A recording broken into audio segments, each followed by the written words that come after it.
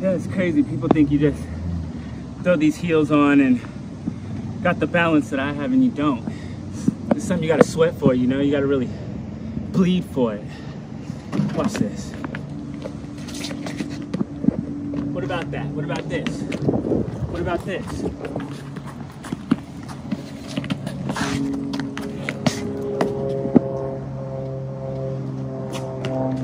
This is Heels on the Edge, Volume 2.